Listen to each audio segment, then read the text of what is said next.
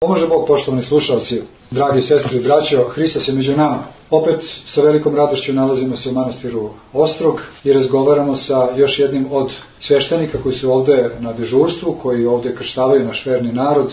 Prosto su tu ljudi koji su na neki način primaoci ljudskih duša u Carstvo nebesko, u našu svetu pravoslavnu crkvu.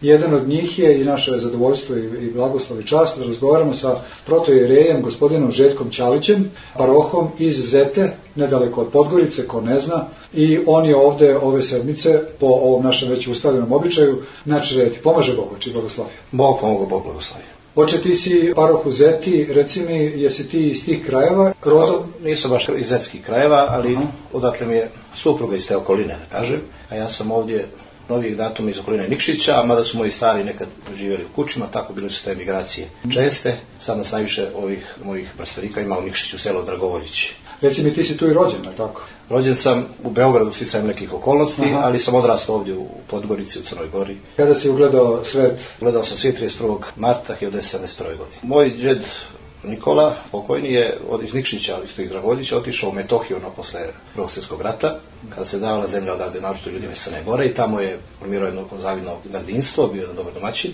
I tu mi se otac i rodio u Metohiji, u Itomirici kod Peći i onda je moja majka tako malo zbog zdravstvenih razloga pošla u Beograd na održavanje trudnoće i tako sam se ja tamo rodio u Beogradu. A onda kasnije, 80. godina, otac se vratio ovdje opet u Crnu Goru poslom i tako sam ja tu veći dio svog života preveo ovdje u Podgorici. Znači sa koliko godina u stvari dođeš? Pa sa šest godina. Sa šest godina, šest godina jeste. Jel pamtiš malo Kosovo? Pa pomalo pamtim, jeste. Jel imaš to tamo nekoga ili? Pa nema, ta sad nema nikog tamo. Ja, Mi smo bili ta jedna porodica samo, posle se to razišlo put koji po svijetu i tako, i to je tako ostalo i tako, raspeto Kosovo večito.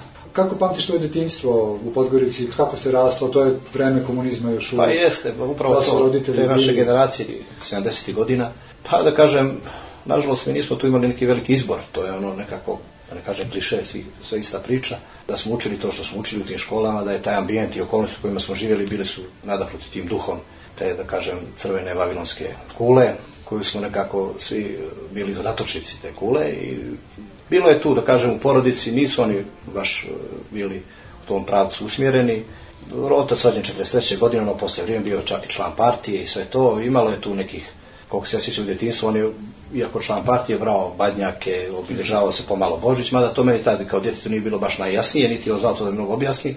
Pa bilo je ono velike petafarbanje jaja i to je ono što ja pamtim iz djetinstva vezano za vjeru, tek sam kasnije ja to razumio o čemu se radi. Tako kao dijete, malo se toga mene dotaklo, nisam bio ni krstom to vrijeme, jednostavno pripadao sam većini one djece koja su prošli kroz to djetinjstvo. Šta taj bio u partiji, da, bio. do kraja ili, ili izašao? Pa bre, posle on izašao, posle se to već drugačije, on da. danas razmišlja, nisam sad čovjek u godinama mm -hmm. i on je to, shvatili su svi valjda da. do danas da, da to nije baš da je to bila jedna vavilonska kula, da, mm. da smo zaista robovali jedno ideologijnom duhu koji je bio neprirodan, nezdrav, matne satanski duh. Ali tako je bilo, nekako je Bog to nadzirao, čuvao, da to ne ode u nekom pravcu, u neku krajnost koja bi bila A da li je bilo neki baba, dedova koji su bili bliže crkvi? Pa sad onako, bilo je tu, našto bake, da oni su pa neki svoj način, kako je njen svojstven, onako da bilo im je to blisko sad. Ja kažem, iz tog vremena ja ne pamtim neki upečatljiv doživljaj tako, na taj način da na mene prenijet. Bilo je, bilo je, znači onako kako su oni to mogli da u to vrijeme, kako je to uopšte i moglo, koliko da. su oni mogli imali slobode da to ispoljavaju.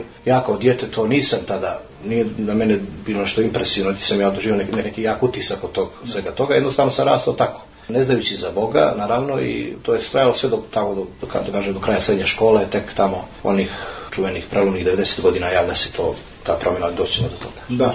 A kako je proticalo to detinjstvo, ta mladost? Šta si volio da radiš? Čime si se bavio? Podgorica to Pa eto, išlo se u školu, volio sam malo sport, bavio sam se karateom u svoje vrijeme. Volio sam sve sportove, baš sam onako bio sportski nastrojen i to je fino i zdravo za dijete, to bi, a što je danas to potrebno. Ali uvijek djeca vole sport i to je što me zanimalo. Onda volio sam pomalo i muziku, da se malo sviram gitaru, to sam kasnije malo i naučio nekih nekoliko akorda, tako da zadovolji svoju dušu. Kasnije kao srednjoškolac sam volio da čitam knjige, to mi ako, mada sam tada čitao sve i svašta. I tako, uglavnom, nekako tražio sam, da kažem, neki svoj put sam.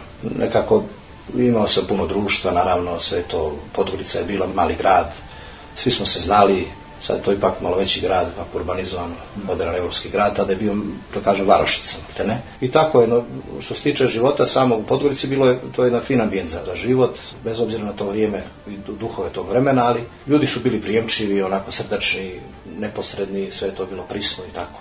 I u tome sam rastao, to je to. U jednom, kažem, radničkoj porodici, on, puno ambicija, puno maštanja kao dijete i tako. A od tih knjiga, kaže što se čitao, šta te ovako privlači? Pa ja sam malo kasnije to, znači osnovna škola neka literatura na lektira i to, to se, više, ali... tu se tek to nešto otvara, ali kasnije kao srednjoškolac, iako u mom društvu nije bilo tih koji su baš ovdje puno da čitaju, pa su mi se malo čudili, tu sam bio malo predmet ismijavanja, da kažem, ali ja sam nešto tako neki, ne znam zašto, imao neki taj potrebu da čitam. Pa bila je neka biblioteka u našoj kući, bilo je tu neka onako solidna biblioteka, ja sam onda počeo da čitam, bilo je tamo nekih raznih knjiga i malo Dostojevski, malo Hese, malo Njegoša, malo, sve po malo tu je bilo raznih, sve što sam ako dohvatio, tragao, tražio, jeste neke mnoge stvari, tako, to je tu počinjalo to baš u tim godinama puberteta i kada se... Jeste, jeste bio onako malo primamljiv. Jeste, zanimljiv da on, jako, tada bio upečativ dosta, mada što kaže lutanje su tu velika, ali dobro to sad iz ove, s ove distancije bilo drugačije. Ali tada je bilo zanimljivo to, Siddharta i sve ono. Bilo mi je to zanimljivo tada čitam, a eto, još sam bio nekršten tada, to mi je prošlo pažnje, te stvari, ta mistika malo, ono, s obzirom nisam znao za ovu našu pravu mistiku i zdravu mistiku, onda tako, to, to mi je bilo pri ruci, mada sam pomalo tada već počeo da se interesujem i za našu vjeru, za hrišćanstvo, za, kroz to malo po malo, zaljivajući valjda kao. Znači to si prosto sam otkrivao? Samo sam, s Božjom pomoći. Naravno, to se bilo najčešće ipak neka baba, neka Ne, ne, u, u, ovom slučaju zaista to je bilo tako. Jednostavno ta, neka traganje za nekom istinom. Za. Upravo kroz to školovanje sve je to bilo ono, ono nekakva rutina, nekakva, šta znam, po nuždi, nametnuto ono, ona pedagogija koja je nezdrava sve se to nekako prolazilo, ali nije to zadovoljilo tu djetinju dušu, našto posle tu mladoločku dušu, sve je to ostalo negdje tamo na marginama duše i čovjek i dalje bio gladan. I onda u srednjoj školi se tako, onda sam, da kažem, imao sreću po znacima navoda da i to školstvo je nešto se eksperimenta sa, sa djecom puno, pa mi smo, mene je zakačeno usmjereno obrazovanje, čuveno ono. Tako da je to stvarno konfuziju to u našim glavama, sve šta je kako, kuda. To je tako vrijeme bilo zaista konfuzno, zaista konfuzno vrijeme, ali eto, da li si možda to vrijeme kao mnogi mladi zaglavio malo u daleko istočne pa, Ne, to, u toj mjeri nisam. Ne, ne, ne nisam niti... Nije te to zanimalo? Imao sam neke drugare, zanimali su se tim stvarima i tako meni to nešto nije bilo blisko. Nešto sam, pa imao ne, ne znam neku verziju prema tome, nešto mi se to nije dopadalo, ne znam zašto. Osim ovo kroz Hesija i kroz ovako ta priča, više to je na filozofiji, onako, to je više filozofija. jedan filozofski pristup koji mi se tu onako činio, valjda kao mladom čovjeku zanimljiv zato što se tu traže ta neki dublji smisao života, nešto, nešto traganje neko jednostavno za istinom i za smislom, ali ne u toj mjeri da sam se s time bavio, ne, zaista ne, to nisam. Znači ipak je nekako pravoslavlje imalo neko svoje? Pa to se nekako spremalo, da li je to teško bi se sa ove distance bi možda mogao reći da je Bog nekako to nadzirao, da, vjerovatno bilo je malo lutanja u smislu da sam šta sam, sjećam se još tada kao momčić, kao srednjoškolac, bilo je aktuelno tada među nama i uopšte pojavile se te priče o adventisti, o vjekovini svedoci. E tu je bilo recimo zanimljivo, mi smo pošli, ja sam išao tamo nekoliko tih njihovih predavanja, to mi je bilo zanimljivo, e, jer oni su pričali na hrišćanstvo i sve to i sad ajde rekao da vidimo šta je to. U stvari na sugestiju nekih prijatelja i drugara sam pošao. I par puta sam išao i,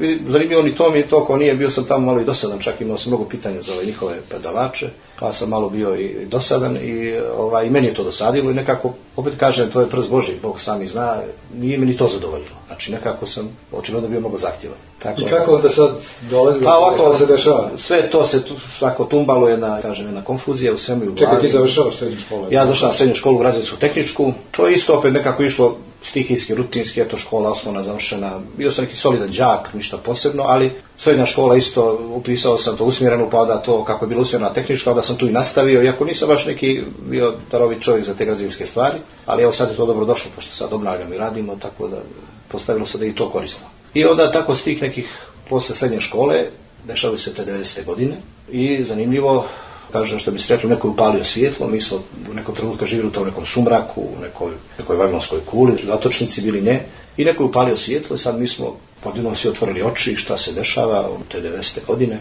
Ratovi počinju, ja tada stasavam u godine kada treba ići u vojsku, tada je bilo obavezno služenje vojnog roka. I zanimljivo da ja tada odlazim ovaj, u Banja Luku, u Zalužane, u Kasanu, jednu veliku, tamo su bivala obuka za vozače transportera i tenkova. Uveliko je bio rat u Hrvatskoj, mi smo čak u Kasani čuli salve one topovske, smo sasvim dobro čuli i tu smo imali obrzanu obuku i svi smo bili spremani za front. Ti mnogi moji drugari su poslije i posli na front, neki su i poginuli, tako. Uglavnom, ja sam imao sreću u nesreći, tako kažem, da sam se povrijedio, da sam imao jedan udes posle zakletve, imao se jedan lom i morao sam ići na VMA i tamo to je sanirano, nije bilo nekih većih posljedica, ali to se desilo, ja sam oslobođen od vojske. Opet, kažem, ko zna kakav je to Boži bio plan. Tako da nisam pošao na, na ratište, kad sam bio na dosluženju, završio sam ja vojsku, ali u Srbiji. Tada u vojsci tih mjesec dana i prije toga i posle toga nekako lomilo se to neka, nešto u meni tu. Još sam ja bio nekršten, što je tu pokazalo se da sam pošao gdje poginem nekršten i tako. Ovaj, isto kaže, ne bi baš bilo poželjno, i jednostavno vratim se kući posle tog događaja, tog udesa i sam udes i sve ovo što se desilo ukupno, i svi ti ustisci rata i sve to haosa koji se desio, slušila se ta vavilonska kula od pijeska, ona je mm. postala ruševina, s tog zgarišta svi gledamo, posmatramo šta se dešava i tako. I došao sam kući i malo se ono da kažem povukao. Nekako sam bio, vidim svi ti utisci nekako loši, sve to se dešava, šta se dešava, čujemo ratovi kao ratovi, najveći apsurd mogući koji može se desiti svijetu i to bratubilački ratovi, vidimo ljudi su ubijaju duče, živjeli zajedno sa šta je ovo haos neki, apsurd do apsurda i onda čovjek razmišlja, mlad čovjek sa 20 godina, šta će dobro, i dobro je ako razmišlja. Dobro je da počne da razmišlja o tome da li dovodi u pitanje šta je onda, gdje je tu pravi, gdje ti se, šta je smisao života. Kada je sve tako, završava se tako kako se završilo, nešto je postalo, sa se to ruši u ognju i u krvi i sve to ostavlja strašan trag na dušu mladog čovjeka, to znaju mnogi nije to samo utisak, nego utisak svih. I uglavnom ja onda tu počinjem već ozbiljnije da razmišljam o nekom smislu koji je van ovoga svijeta, ne nečemu što je, nije samo ovdje, nego očigledno da ima još nešto, mora da ima nešto, nešto vapije u čovjeku da spozna to nešto novo, nešto drugačije od ovoga što vidimo. I tako jednostavno dolazim do te priče o Hristu, dolazimo, dolazim do vjere, kažem, pa evo vidim, ljudi vjeruju, krštavaju se. Ali nije to bilo, sad, neko bi rekao, pomodarstvo, znate, kao sad krstiv se to, nego baš je to jedna, bila jedna žeđ za istinu i nekako čudesno, zaista pitaju me mnogi kako se, eto, prošlo te, kako se, kako si povjerovao. Ja ne mogu dati egzaktan odgovor na to pitanje, zaista ne mogu. Ne, neko me povukao nije, nekog sam vidio, nisam. Jednostavno, neka žeć, neka želja ogromna za, zaista za otkrivanje pravog smisla života. I nekako to su se okolnosti neke, jednostavno se desilo, dogodilo se, da ja to odlučio da se krstim. I zanimljivo je da sam našao imam jednog druga školskog s prvog razreda osnovne su se znali, on je bio kršten kao dijete, imao je majke iz Srbije pa on tamo i kršten, imao je sreću da, si, da, je, da mu je majka je tamo krštena, mi smo ovdje drugačije to sve bilo ovdje kod nacionalne gori. Tvrdo je ovdje, tvrdo jeste. I sada zanimljivo je to da sam ja, pa idem, kažem, crkvu, bila je crkva Svetog Đorđe, bilo i ostalo, naravno tu i gdje. I bila je svjetla sedmica, malo sam ja tada znao zaista o vjeri, ali osim te želje velike da, da se krstim, i onda pođem sa tim mojim budućim kumom u crkvu i bila je večernja služba svjetle sedmice i tamo je se našao, da kažem, otac Dragan Mitrović, sadašnji starešna sabornog hrama. Zaista taj utisak tog dana, ta radost vaskršnja, koju ja nisam pojmio umom, ali sam je nekako doživljavao srcem i njega onako kao sav je zračio tom radošću vaskršnja. I sad taj ambijent crkva, sve to tako ostalo meni utisak. To tek poslije ja nekako kad sabiram misli, kad se sjećam, bilo mi je tako impresivan on, sav taj ambijent crkve, sve to. Iako nešto potpuno novo za mene. Ali kao to je to. Vidiš nešto, pa to je to. I sad ja kontaktiram sam sa Draganom, mi se tu upoznamo i tako ja mu kažem tu svoju želju da želim da se krstim. I on kaže, odlično, onako sam radostan. Vidi mladog čovjeka, dva mlada čovjeka, kaže, će biti kum i tako. E, kaže, odlično, na Tominu nedelju, vladika Mitropolit služi na Dukli, organizovano je saborno krštenje, tamo lijepo da možeš ako se osložiti, kako, kako li kaže, naravno da jesam, ja sam tu za to. I stvarno desi se u Dukli to nekako zanimljivo to krštenje. Prvi put je to organizovana služba na Duklji, na temeljima stare crkve iz četvrtog vijeka i mitropolit je služio, tada su, sjećam se, došli prvi put i naša braća iz Rake, naši iz Crne Gore tamo, koji su došli, prvi put su tada došli kod mitropolita svijetu iz Albanije, da. Mm. I bilo je tu do 30 do 40 ljudi, sad ne, ne mogu baš predsjedno se sjetim, bilo i djeci i odraslih ljudi. Moraču, to je bio 3. maj te godine, zanimljivo je bilo zaista onako pravo krštenje, kao na Jordanu. Morača je tekla, bila je hladna. Pa na Moraču? Na Moraču, da, da. Tu je bio jedan usijek onako mali, tu je vladika sišao, mi smo svi se tu prišli onako, ja sjećam da sam osjećao ogromnu neku pozitivnu tremu i gledao sam na ljude i tako i tu nas je vladika pogruzio u moraču, fino, kako treba, pravilno sve jeste, dali su nam one rize bijele, obukli smo haljine, krstiće, onda smo išli nekim uzbrdicom do crkve, to je jedan, jedan utisak zaista koji je da, je baš, baš nešto, dar Bože i zaista mene nedostojno da, da tako se krsti na taj način. I, to I to vladika nas je poslije bilo pomazao tamo na temeljima ove crkve i tako je to krenulo. Jednostavno, kako Bog sam i zna, to je jednostavno tako, desilo se, što kaže čuda Božja se dešavaju, to je... I onda sam ja polako ulazio u tajnu vjere, Vladika me onda usmjerio, pošto on inače zauzit tamo Cetinje, usmjeravao i ne samo mene, nego mnogi od nas ovdje, na pokojnog množnog počiše za našega Lazara. Ja sam tada ta prva duhovna iskustva imao se upravo s njim. Onda sam došao u Ostrog ovdje i isto to ljeto posle krštenja, došao sam, bio sam tu više dana. Je to bilo posle završetka srednje škole? Da, da, sve se dešava, ja sam to 93. godina, ja sam već posle vojske. Znači nisi upisivao neke Ništa, ništa se ne dešava, ništa ne, tu ja tek se krštavam i mhm. tako to ide. Platika me smjera oca Lazara, ja tu dolazim i zanimljivo je tu s ocem Lazarom to iskustvo baš veliko. Čovjek me odmah impresionirao s ovom pojavom, svojom mirnoćom, s onim duhovnom zrelošću oštrinom koju je imao otac Lazar. I onda smo mi na ovom balkonu, baš ovdje na Konako, gdje je on primao goste, pored crkve, sjeli tu i tada mi je društvo pravio, to je zanimljivo da kažem, u socijalnom razvornom razgovoru, još jedan podgoričani, sadašnji iguman manastira Stanić, otac Jefrem. Mi smo se upoznali umeđu vremenu, na isti način smo bili u istom, što kaže, paketu i došli smo tu zajedno. Onda nas je otac Lazar primio nas dvojicu da razgovaramo s njim malo tako. I naravno otac Jefrem nije došao od riječi od mene, ja sam tu opet imao mnoga pitanja i mnoga potpitanja, otac Lazar je sve smireno i krotko meni odgovarao, vidio je mladog čovjeka neznavenog, sad vidi, ali opet željnog znanja, željnog istine i zaista mi je taj razgovor ostao upečatljivo, pamtit ću dok sam živ. Kažem, otac Jefrem je bio pored mene, on nije stigao ništa da pita. Ali posle sam ga pitao što ti nešto ne pita. On kaže, pa ti si sve pitao, kaže, ja nisam ništa više da pita. Dobro. I zanimljivo je to iskustvo sa Lazarom, to prvo iskustvo koje je bilo mnogo značajno i jedan događaj moram da ga ispričam, ovako rijetko pa ljudi to zna za taj događaj.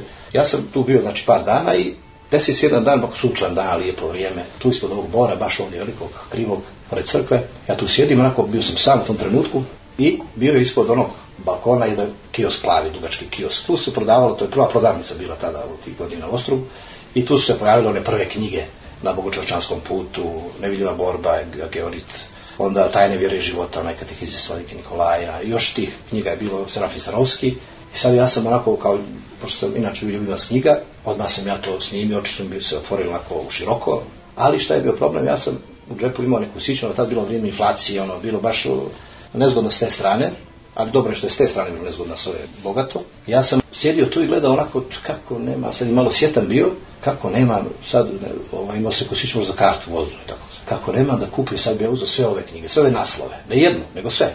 A ja nemam jednu, ali ambicija uvijek jak, malo čovjek. I sad zanimljivo je, ja tako u tom razmišljanju, u tom mom pomislima prema kiosku i prema knjigama, svjetno onako gledam, ne mogu da kupim, to je to i mirim se s tim. Međutim, silazi otac Lazar sa stepeništa i onako ide mi svojim sigurnim korakom prema crkvi. Tačno presjeca frekvenciju ovih mojih pomisli prema kiosku. I ovako staje, kiosk, okreće se prema meni i kaže, dođi. Ovako rukom pokazuje da dođe. Ja se ono skočim na uzmem blagoslov i on samo jednostavno mi kaže, ajde za mnom. Ja nemam pojma gdje ide, ništa, samo slušam na ranu. I on ulazi na vrata sporedno u kiosk. Mi ulazimo zajedno, ja za njim, ne znam što se dešava. I sad to je bio onako improvizovan kiosk, nije bilo tu nekih polica, stavili su neke knjige na podu onako porezane po naslovima i otac Lazar samo kaže, prilazi onom prvom naslovu knjige i kaže imaš u knjigu. Ja kažem nema. I on uzima onu knjigu i daje mi. Ja onu knjigu uzima. Imaš u knjigu? Nema. Sve one knjige koje su sve one naslove, on je meni uzeo ovako jednu po jednu i dao ja sam imao pun ruke knjiga. Znam ste čudo Božije, baš ja sam ostao u koče, znači ja nisam njemu ništa rekao. Kad sam ja tu komentarisao, sam ja o tome razmišljao. Jednostavno ja sam samo steo kočen i preživljavao čudo Božje. Gledam što je prst Božji. I staranje svetog Vasilija, oca Lazara, njegova prozorljivost. Dar Boži, jednostavno Bog vidi. Ja sam sjedio baš onako osjetno što ne mogu da imam tehnike. Ali nije prošlo par minuta, on je naišao i sve se ovo desilo ovako na ovaj način. Zaista, zanimljivo da se čuje, zaista. Idemo da te knjige ponesem u konaku, smo bili u ovom starom tamo, na, na početku. Ja sam ja sam bio van sebe. Znači ja sam potpuno onako tom impresijom bio kao da sam na oblacima. Znači one knjige sve pa i gledam. Mogu da što se desilo. Pravo čudo Božije. A to je potrebno u tim, tim momentima, tako kad čovjek počinje. To je vrlo, to vjerojatno imaju drugi ljudi, nije to ništa neobično i originalno, ali za mene to bilo impresivno, jedan doživljaj koji ću pamtiti do kraja života. Stvarno, evo ja od kako se bavim ovim poslom na radiju, tako da kažem, i blagoslovom metropolitovim, ima se već dosta prilike da razgovaram i sa monasima i sa civilima i sveštenicima iz Crne Gore i vidim stvarno koliko je taj otac Lazar, koga ja nažalost nisam Jednom sam ga samo na kratko video, ali to praktično nije upoznanje. Koliko je taj čovjek ostavio pečata i traga? Kako da ne? Ovdje, naravno, sigurno šire, šire. mnogo šire. Pa eto, ovo je moje svjedočanstvo, istinito, zaista. Da, da, da, se to desilo tako, da je on tu se našao, da je to bukvalno to je bilo kao iscenirano. I to je taj dar Boži koji je dat ovom narodu ovdje, baš Crnoj Gori. Nije ništa slučajno, naravno. Bog promišljao svemu, kroz Boži suda prisuta. Znao je Bog da treba ovdje jake ličnosti, jaki duhovnici, da treba neki novi Mojsije, da ovaj narod izbori iz egipatskog ropstva, a to je upravo naš mitropolit na prvom mjestu, on zaista kao pravi moj kao pravi prorok došao je tu da i njegovim dolaskom to se sve mijenja, sve to. A onda uz njega i ovi drugi ljudi, otac Lazar, otac Dragan, mnogi drugi ljudi. Kasnije su oni iznjedrili još ozbiljnih ljudi, ozbiljnih duhovnika i gumana, sveštenika i sve tako. Tako to je bilo neophodno da bi ovaj narod se vratio vjeri, vratio sebi i to je veliki dar Boži. Zaista tu su neizmjerno zahvalni Bogu i svetom Vasiliju što je to tako. I šta se dešava dalje očekivali e, pa, tu u Ostrogu malo kako to ide? Pa onda sam bio tu, ne znam tačno sa koliko dana smo ostali tu, budući otac Jefrem i ja, onda smo zajedno se vratili, inače zanimljivo je reći ko ne zna, to većina i zna da smo otac Jefrem se kasnije se i orodili, što bi rekli, njegova sestra moja supruga. To je sve nekako išlo u tom, kako to Bog uređuje i tako da smo danas braće i prijatelji veliki i tako. Kasnije ja imam tu želju da upišem fakultet, ali je bilo to ono, prva ona generacija kada je to masovnije malo bilo na fakultetu u Beogradu, je bio onaj stari fakultet. Teološki fakultet u Beogradu, onda sam upisao ovim blagoslov mitropolita, fakultet, bio sam jedan semestar u Beogradu i onda sam došao ovamo pa sam i nešto morao da radim, nešto nisam baš imao uslova tamo da budem u Beogradu, ali sam varedno koliko sam mogao to radio i završavao. Nije to išlo redovno, ali to je, pošto s obzirom da sam radio, kasnije sam na trećoj godini kad sam bio, već sam se i oženio, umeđu vremenu dobio dvoje djece i tada negdje u tom periodu mitropolit a šta si radio u to vreme? Pa radio sam u, konkretno u jednom butiku, u jednom prodavnici. Pa i studirao sam valjano, da, da, naravno, išao sam koliko sam mogao i tako. Zanimljivo je da sam ja tu radio, a da sam posla redovno bježao na večernju službu u Svetog Đorđe. To je blizu tu ulica Hercegovačka i tako. I, e, iako sam imao dozvolu od gazde, naravno, da, koji imao razumijevanje za to moje i učenje, sve je znao da ja to učim. Inače, gazda mi je bio islamski vjeroispovijest, ali i kako razumijevanje imao za to. Redovno sam odlazio s posla, pošto je bilo još tu radnika, nisam bio sam. A dobro, bio sam tu i neki kao poslovođe i tako da kažem. Pa sam zloupotrebljavao možda i to pravo pomalo. I redovno sam išao na službu Svetog Đorđa i tako i s posla i vraćao se i tako da sam i kroz to malo, bilo mi je blizu i tako sam se malo, što kaže, kalio u službi. I tako radeći, malo po malo sam odlučio se i na brak, već tad sam imao 25 godina. Jesi poznao svoju suprugu i pre ili se upoznao preko Pa posle, posle. Prvo sam upoznao sa Jefrema, sadašnjega, a posle nju. A čime se ona bavila? Pa i ona isto radila tako. Ona je radila i tako, čak mi ona i zaposlila kod ovoga, moram i to da kažem, da budem zaposlila tu i da smo zajedno tako radili tu i odlučili se na brak i tako je to krenulo i ja kad sam imao već dvoje djece, tada već 30 godina, treća godina sam bio studija, vanredno i onda je Vladik odlučio zbog potrebe malo za sveštenstvo tada još to bila veća potreba za, za pastirima da me rukopoliže za đakona. I to isto se desilo bez moje... Pre završetka. Treća godina, onda imao neke sugestije od jedne braćenih poznanika iz crkve, da sam ja student, da sam oženjen, imam već dvoje djece i tako, da bi mogao, evo, kaže Vladika, odmah to, njemu se to dopalo. I tako on njegovim blagoslovom tad na veliki četvrtak sam uložio za đakona, to je bilo 2000. godina. Bio sam đakon dvije godine, 7 mjeseci u crkvi Svetog Đorđa. Jesi ti oče upisao teologiju sa namjerom da budeš sveštenik jedan dan ili više tako iz nekog Pa više, ovo, drugo. Nisi ono baš planirao? Pa nisam ja, nekako sam, ja sam to gledao, ali mi još to bilo, bio sam još nekako daleko od, od te neke pomisli. Ne, više zbog znanja, zbog želje, da saznam šta je to. Nego kasnije to već se razvija ta želja da, da bi možda trebao da bude sveštenik da to zavljaju. A kad ti on predložio, kad si čuo, kako se to doživao? Pa to reagovao se neobično. Mi smo, bila je služba u crkvi Svetog Đorđa, ja sam došao s porodicom, tu bilo se pričestimo i tako i djeca. I onda mu je sugerisano da sam ja pa student i tako. Vladika i tamo i vamo znao i nije znao, sad je zaboravio to više što kaže. Ali znao je, mislim, nije da nije znao, nego čisto tako, pa kaže da vidimo dokle si stigao, kako što, mi siđemo dolje, ono baraka je bila ona dolje ispod crkve Svetog Đorđa, tu se malo počastimo, porazgovaramo, e, ali Vladika kaže, e pa Boga mi kaže, aj ti da se spremiš blago meni, kako kažemo Vladika, da taj mir položimo za đakona. Međutim, meni to nekako bilo, s obzirom ovo kako sam ja išao to nekako postupno, a vas da sam malo pomalo bio oprezan, ja malo, da ne kažem suprostavi se, nego budem zatečen, kaže Vladiko, ja nisam spreman, ja ovako baš. Pa kaže, a šta nema tu šta se sprema, ti si tu pa čuf, evo žene, od djece učiš, evo, Vladika kaže to pa šta si ovo radio, nego se spremao, znači. Ja sad kažem, a dobro Vladiko, ali evo ja imam neke obaveze druge, ja vam radim, opet nešto, treba da se pripremim, a on još kaže kao za 20 dana. A sad evo vidim, neke moje kolege kažu, danas mu kaže za sutra, a ja sam se tad žalio za 20 dana. Pa kaže, ja ne znam, sam spreman, ja malo oprezno, da kažem, možda i preoprezno, Vladici, ne suprotno se ja blagoslov, nego jednostavno me je pomalo uhvatio strah. Iskreno bude malo neka, neki strah, nešto, kako ću ja sad, kako đakom, pa nije to sitnica, malo. A čekaj, malo nije to. I sad Vladika mudri, on zna kako to da vidi da se ja tu malo kolebam. I moj Miloš, možda, koliko je imao Miloš, četiri godine možda, stari, najstari sin moj, on uzme njega, stavi ga u koleno pita me, evo Miloš, kako bi tebi Miloš? E, Miloš, ko ti ne zavidi, onda ono, Njegoša mora da pomene, naravno, šladika. Kaže, evo Miloša da pitam. Zanimljivo to isto ovako da se čuje. Evo, kako Miloš kaže, tako će biti. Ja ću to već ja, ono, rekao što sam imao sad ja, prepao se jako, ovaj. On Miloš ovako sio komotno kod njega. Koga je tada imao? Četiri godine. Četiri godine. On ga tapše onako, pomazi ga, on s njim fino sarađuje, vidim odlično. Bolje nego ja. I, I on pita, evo Miloše, kaži ti nama Miloša ovdje svima. Kaže, da li ta tvog tatu mi ruku požemo za đakon? I ako on direktno pita, njemu svojstveno mladici. A Miloš onako kao iz stopa, kao odrasao, kaže, da. Znači, ja onda rekao, onda on pita i sadašnju popadiju, suprugu moj kaže, a evo tu je supruga, šta kaže supruga? Pa naravno, ona sva sreća svi, ja, ovdje, svi odlučuju, samo ja ne odlučujem. Ja se još i poželim, kao, ja ništa ne pitam, kao.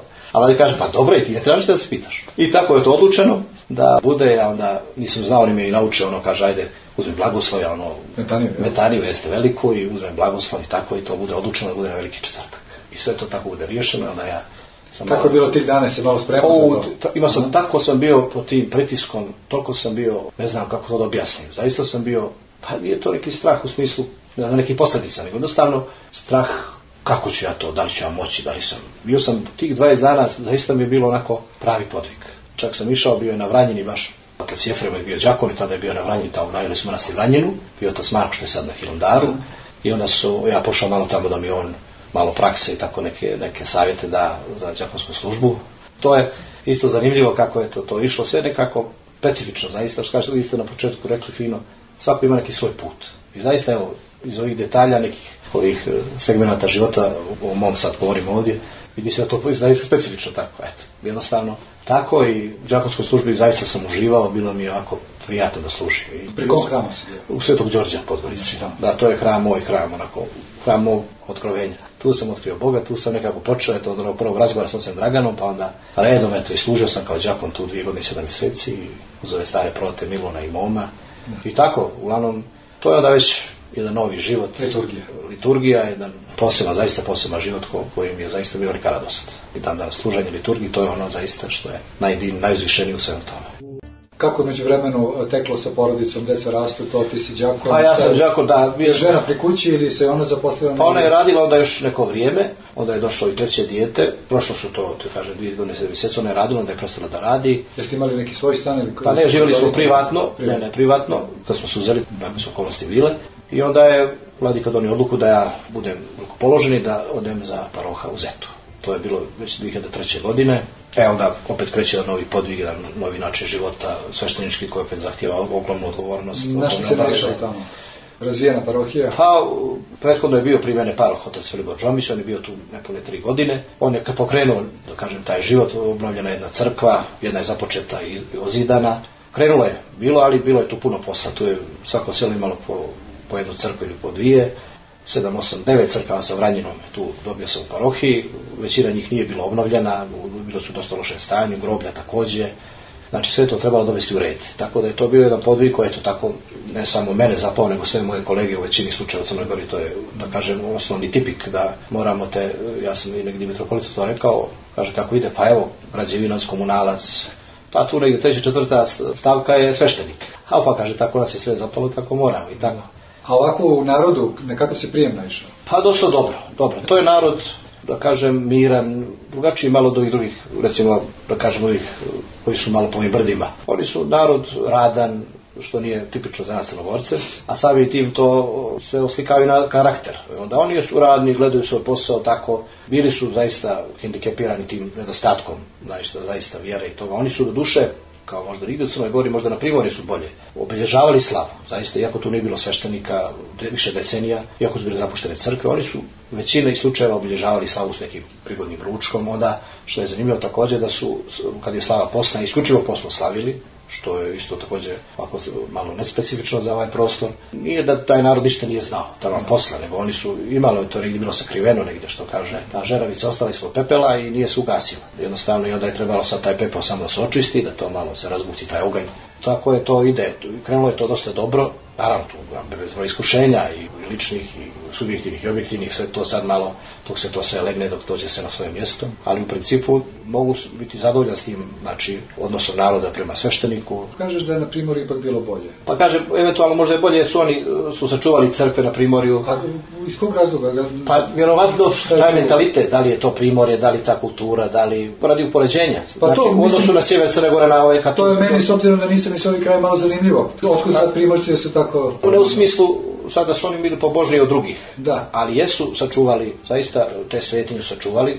To su ipak nasljednici, tamo nekako Turci su najmanje ostavili taj trag na primorju. Više su bili ovi Latini, a opet oni nisu išli na to da se crkve yes. ruše uništavaju. Oni su nadali se da će da Jeste, pa i u komunizmu oni su tamo to bolje, te svetinje su morali biti sačuvane. Recimo ti manastiri po primorju, to nije moglo biti uništeno. Mada je tu bilo kako dže, ali je, kažem, samo radi upoređenja, možda su oni malo više u tome, ili bar toliko sačuvali, da kažem, taj odnos prema crkvi kao svetinji, kao, bar kao kulturnom spomeniku, ono kako da to kažu, popularno da ga definišu. Znači ovdje u svakom slučaju nije bilo ono kao pope, nemoj ovdje, ne, ne trebaš nam i tako. Pa ne, ne. Bilo je tu nekih izuzetaka da je neki pojedinac je našao koji je negodovao zbog nečega, ali to je toliko minorno i potpuno nebitno. U principu ljudi su prihvatili saradnju, ja to naravno nisam ništa mogao sam, nego ja sam onda našao te ljude koji su voljni da nešto radimo. To je trebalo ta groblja se očiste, to je trebalo da se dođe do crkve, to je trebalo da se te crkve dovedu u red, koje su bile u dosta lošem stanju i sve to malo po malo je krenulo. Da sada tu ima jedna parohijska crkva ili ti obslužuješ više? Vremenom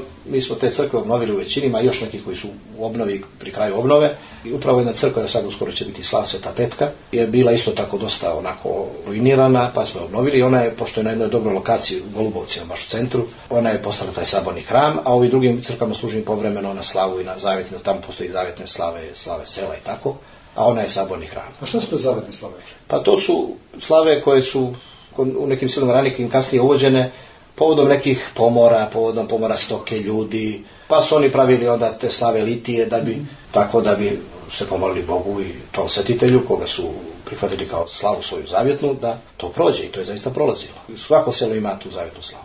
I kakva je sada situacija, da li ljudi dolaze na liturgiju, da li se pričašćuju, da li se ispovedaju, kako si zadovoljan sa svim tim? To je mnogo bolje, znači ja sam već 12. godina paroh u Zeti, sada je to mnogo bolje, crkva je već puna, ova crkva Svete Petke koja je onako srednjih dimenzija, možda čak i malo veća od ove crkve Trojica ovdje u ostalo. I ona bude ispunjena dosta mladih ljudi, što je bitno. Razvija se taj život, ta misija crkve, sad upravo završavamo jedan parohijski dom preko puta upravo ove crkve Svete Petke, tu će biti dva stana za sveštenike, jer do sad nije bilo ni jednog i tu smo živjeli privatno. da bi će jedna sala velika za vjeronauku, za predavanja, za onda kancelarija. Stvaramo tu jednu, da kažem, osnovnu infrastrukturu za misiju crkve. To je pri kraju do kraja godine, očekujemo da će biti završen taj objekat. To je na kapitalan objekat za, za ovo vrijeme i za, za Zetu. Nikad rani nije postojao prokski dom u Zeti. Postojale su te crkve, uglavnom seoske i grobljanske. Sada imamo i taj prokski dom, tako da to je sam pokazatelj koliko je napredovalo sve to u ovo minulo vrijeme.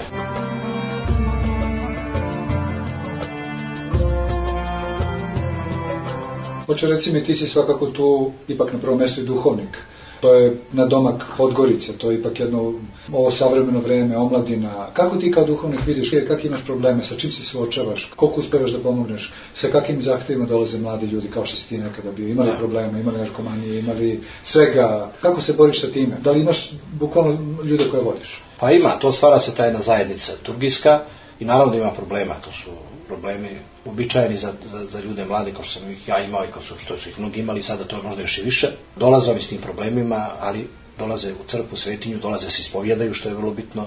Svjesni su da su to problemi, svjesni su da su to iskušenja koja trebaju uz pomoć Božju da riješe.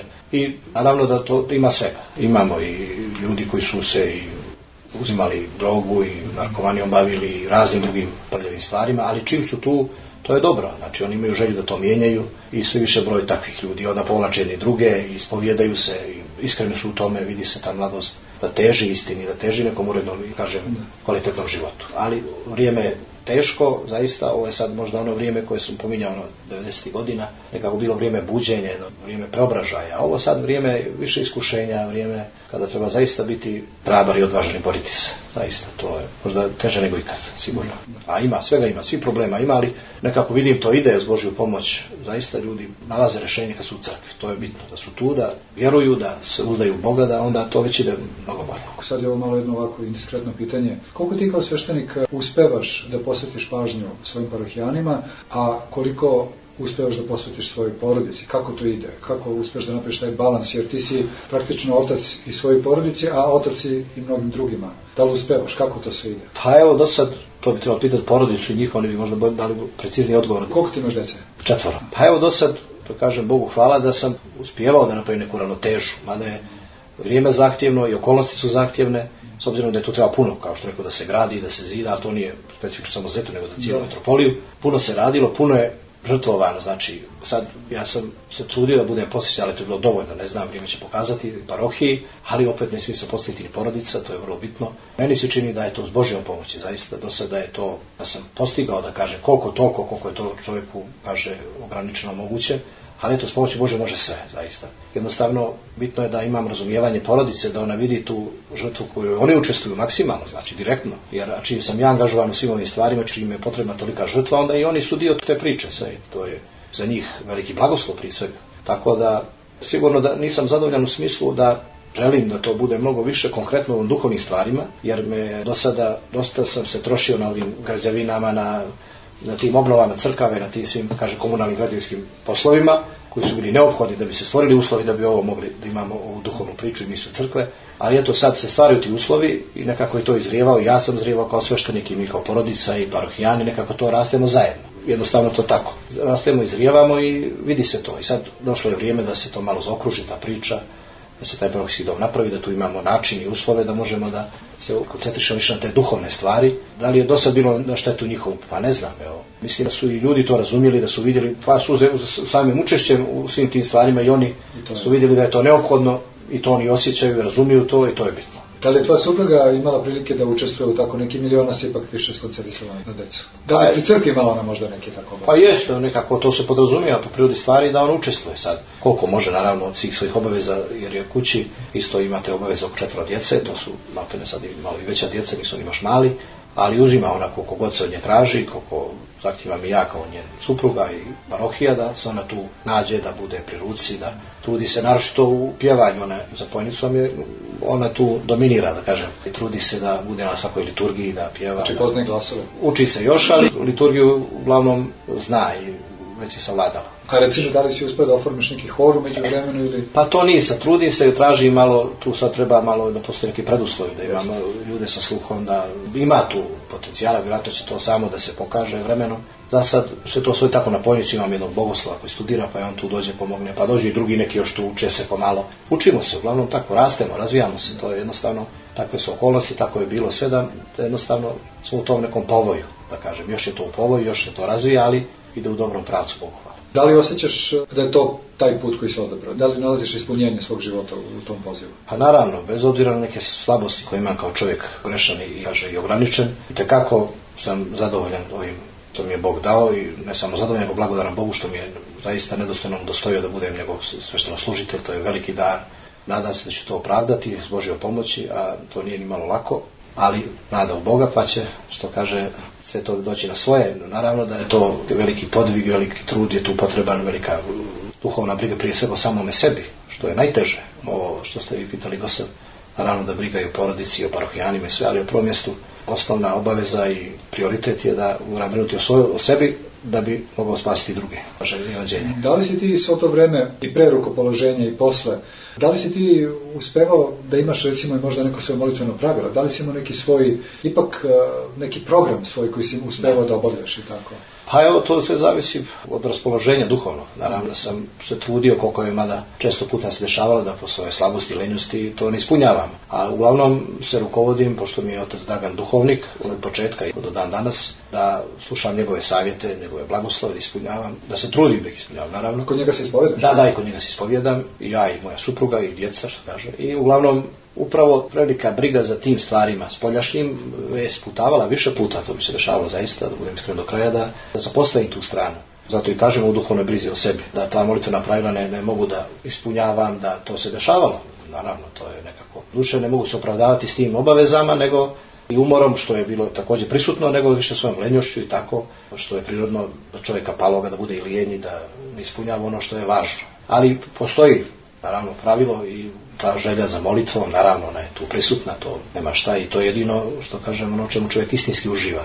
Kada, kada se molimo Bogu, to je ono pravo stanje i duše i srca i svijesti kada čovjek zaista razgovara s Bogom, to je ono zašto smo zašto postojimo uopšte na ovom svijetu. A recimo jedna stvar, recimo kad ti dođe neki mlad čovjek sa nekim problemom, da li pokušavaš onako baš duboko da mu pomogneš ili se dešava često ili manje često recimo da ga pošalješ kod psihijatra ili kod psihologa? Pa bilo je tih par slučajeva da sam poslao tako na, malo na razgovor sa doktorom, što je isto sasvim ispravno, ali nekako više gledam, usmjerim tog mladog čovjeka na, na, na vjeru, na molitvu, na, da ga malo prihvatim. Ima zaista tu neki koji imaju teške probleme i psihičke koji su u svoje uzroke odavno iz djetinstva, iz porodice i bezbroj tu nekih problema, ali više gledam da ga usmjerim. To, slava Bogu uspjeva, nekako da ga privedem na ispovijest, da se ispovijedi, da poče da posti, da I vidiš kako da ne, kako da ne, to, to je primjetno, to zaista sila djeluje, Božija, naravno. Čim on dođe da traži pomoć, nekako Boga je tu doveo, onda je to briga Božija. Samo je pitao da ga mi prihvatimo, da mu neto neke smjernice damo, nismo mi tu neki čudotvorci, ali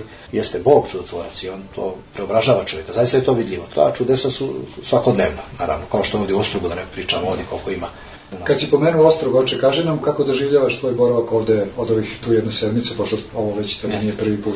Pa ne, ovo već godinama, od kad sveštenik od 12 godina dolazim redovno na čredu, na poslušanje ovim krštenjima. Uvijek mi prija polazak naravno u svetinju, kao što svima milionima onim koji dođu i ovdje budu, a eto ja imam privilegiju kao sveštenik budem tu i duže, da ostanem i sedam dana. Naravno da mi je veliki blagoslov, veliki dar ovdje Svetog Vasilija, da budem tu, da u svetinju malo se ukripim svih tih obaveza kojih imam tamo u parohiji, u porodici i uopšte u životu. On bude bukvalno kao odmor. Svake godine ovdje odmorim, tu nedjelju dana, malo se napunim baterije, nahranim se molitvama tog života Svetog Vasilija, u službama ovdje redovno.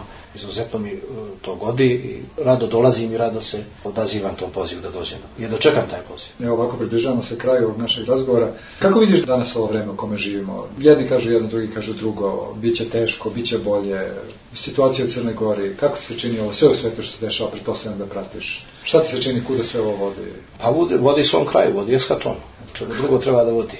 To je ono što treba da uliva nam optimizam posmatramo svijet samo sa perspektive svijeta, prizme ovoga što se dešava, sve je to i predviđeno negdje i Sveti Jovan je o tome govorio da će sve to tako doći, da svijet ide svom kraju, da je to nešto neminovno, ali da mi ne čekamo kraj svijeta, nego čekamo dolazak Hristov, čekamo početak jednog drugog svijeta. To je ono što nas je i dovelo ovdje gdje smo, što nas je povuklo, ta istina, ono što sam ja otkrio kao mlad čovjek koji otkrivaju mnogi milioni drugih, to je ono za što živimo, to je ono što nas nosi, što nas usuliva u nama, daje nam motivaciju, stimulans, ono što nas pokreće. To je ono. E sad, naravno, može biti inferiorni i ravnodušni prema što se dešava oko nas, upravo iz tog razloga da bi spremni dočekali to što čekamo, Hrista i njegov drugi dolazak i sve to treba samo da nas još više, da kažem, motiviše, da se još više borimo u duhovnim borbama, da zaista istrajemo na tome. Da. Pa ovaj svijet očigledno je to, nema šta da on ide svom kraju. Doduše, bilo je i teških situaciji teških e, perioda u istoriji bezbroj. Znači, svakome u tom njegovom vremenu bilo teško. Tako da nezahvalno je to sad prognozirati i mjeriti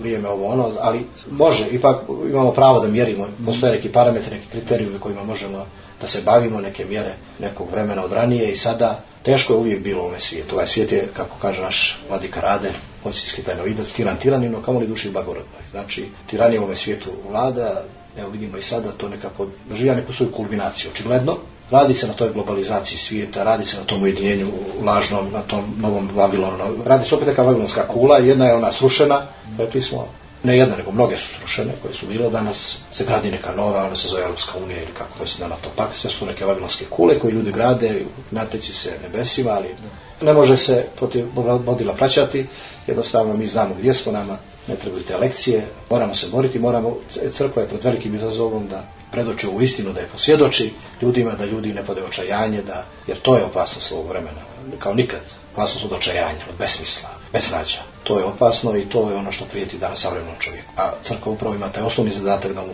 posvjedoči taj hrišćanski optimizam.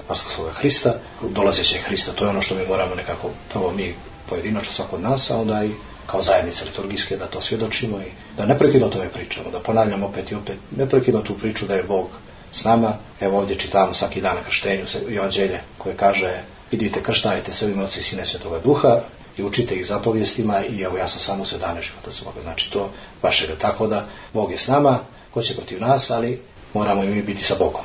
To je bitno. To je, malo smo mi kolebljivi, malo smo slabi, malo smo plašljivi, čovjek je pun slabosti, a posebno sada paranoičnih ljudi ima puno, hipohondera ima puno, puno je strahova, znamo da je posljedica odsustva vjere Boga živog. Tako da ovo vrijeme kako god da je, nas ne interesuje vrijeme, nas interesuje vječnost, mi to moramo da svjedočimo, moramo da se trudimo da to pokažemo, da sve uložimo u to, da posvjedočimo taj hrišćanski optimizam koji je zaista lijek za dušu. Koliko je danas u Crnoj Gori lako ili teško biti sveštenik pri Srpske pravoslavne crkve?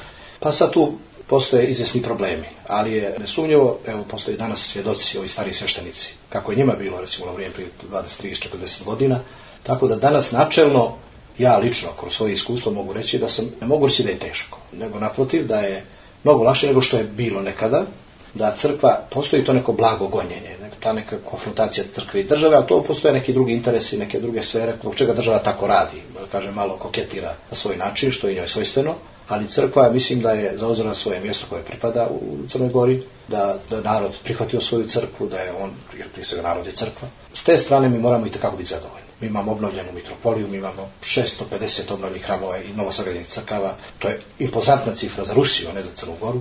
Zaista od ulaskom mitropolita evo do ovih 20 i nešto godina čudo se desilo. Čudo. Znači, i to je samo razlog da se radujemo. Nema potrebe.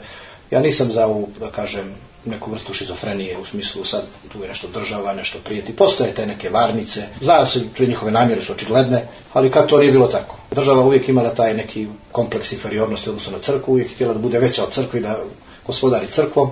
To je nekako neka potreba koja je uvijek postojala. Ali mi treba da, da razumijemo te ljude, da malo, što kaže, budemo tu gdje smo na visini zadatka, pa će oni, poznaće oni da je to tako, da je crkva tu na svom mjestu, da ona da je pripada to što je pripada, da narodi u crkvu svoju, kaže obnovljena je crkva i narod je obnovljen kao crkva, obnovljene su građevine, manastiri, sve, znači zaista teško je to drugačije definisati osim kao čudo Božije, kao nešto što uliva veliki optimizam i zato imamo pređešnje pitanje za vrijeme. Ako, ako gledati u Crnoj Gori, znači te kako još ima vremena, s obzirom koliko se obnova desila i šta se sve desilo kod nas, a šta je sve prije bilo, mi znamo koji smo tu živjeli, koji smo to prošli i osjetili na svojoj koži, zaista je ovo čudo Božije, ovo je samo, ima mjesta za optimizam, za radost. E sad ovo, ta konfuzija koja je stvorena, to je sve posljedica onog starog egipatskog ropstva, jeste Vavilona, faraona kojeg smo imali nekada i sve, sve je to isto identično. Evo uzmite onaj jevrejski narod i onaj izlazak iz Egipta, isto mi smo otprilike tako negdje prošli kroz Crveno more,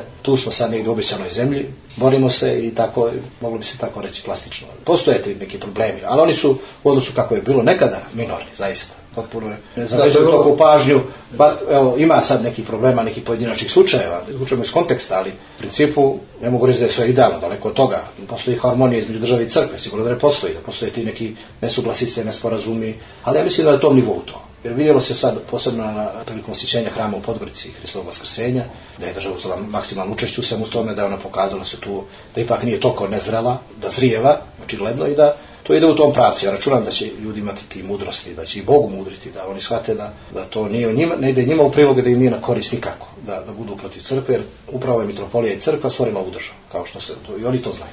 Oče, mnogo ti hvala za ovaj razgovor i još jednom na kraju tvoj protojerijski blagoslov za mene i za naše slušalce. Hvala zbog blagoslovi sve nas i utvrdi na putu istine i pravde Božije, da molitvam se sa Vasilija Ostroškog ovdje, našeg velikog molitvenika pred gospodom i da da svima otvori oči razuma našega da poznamo i da kucamo i otvorit će nam se i da tražimo da ćemo naći, kako kaže Sveti. Hvala ti još jednom. Hvala Bogu.